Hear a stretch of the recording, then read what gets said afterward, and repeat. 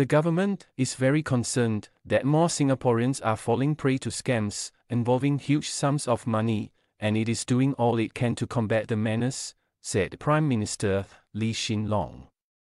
About $660 million is lost in scams annually, with Singaporeans losing nearly $2 million a day to such crimes, he said during an interview with the Chinese media at the Astana on April 28.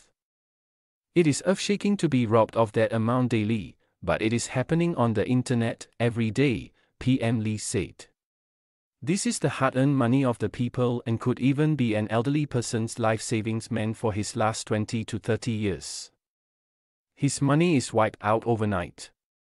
We've done what we can, but it is still heartbreaking, and we are still thinking what more can be done to help the victims, he added.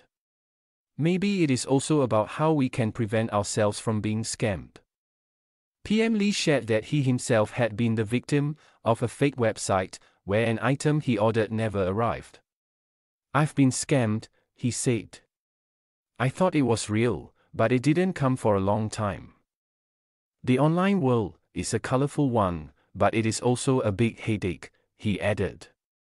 More than 90% of Singaporeans have internet access.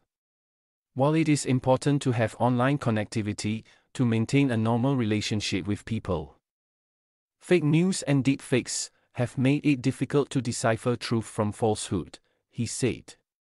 Children should be taught to ask questions when they see a piece of news, such as whether it is credible, who sent it? What is the motive of the sender and if there is a need to verify the truth with reliable news sources, he added.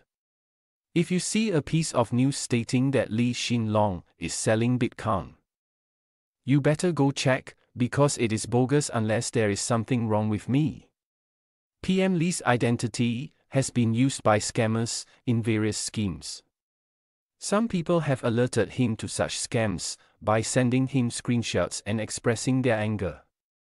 It has happened so often to me that I don't react to such scams anymore, he said. I told them, don't be angry, calm down, this is a recurring issue, and we will take action.